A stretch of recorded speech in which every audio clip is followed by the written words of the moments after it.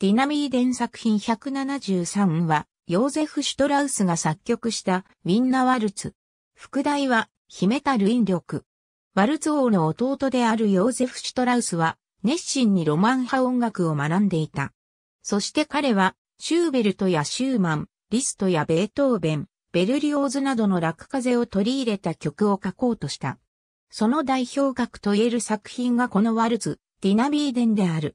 1865年1月30日、宮廷大舞踏会場で催された工業舞踏会において初演され、好評を博した。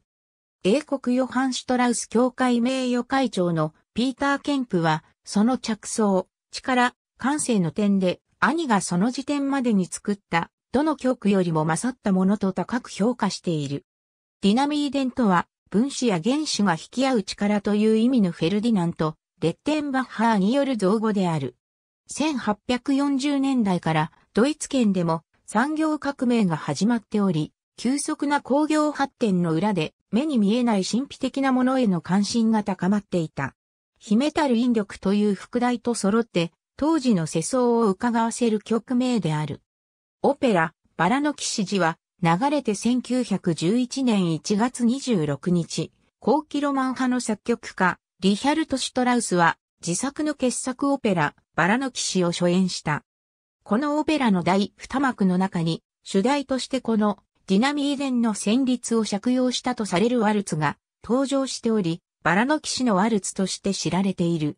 なお、リヒャルト・シュトラウスは1925年に次のように述べている。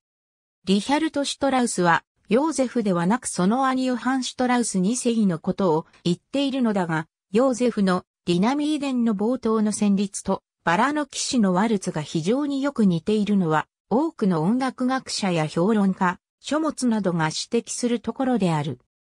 例えば、フランツ・エンドラーは、彼はバラの騎士のワルツを作曲する際に、ヨーゼフの作品から大きな影響を受けたのであると書いており、また、ブリタニカ国際大百科事典にも、ヨーゼフの作品には、リヒアルト・シュトラウスが、バラの騎士の主題に転用した、デュナビーデン・デュナミダンがあるという断定的な記述がある。女装、5つの小ワルツ、こうだからなる。42小節に16小節を繰り返す、双方的な学説が続く。これによって作曲者はこのワルツを色彩で飾ったと言われる。楽譜は一時的に使用不能です。増田義雄はこの女装をまるで絵画を見るようにロマンティックな感情を呼び起こすような柔らかい音楽だと評している。楽譜は一時的に使用不能です。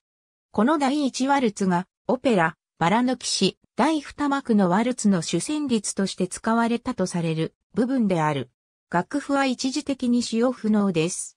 クライマックスに向かうにつれて、完全に開花するようにまとめられており、ワルツはやがて勝ち誇るような響きを示す。ウィーンフィルニューイヤーコンサートへの登場は以下の通りである。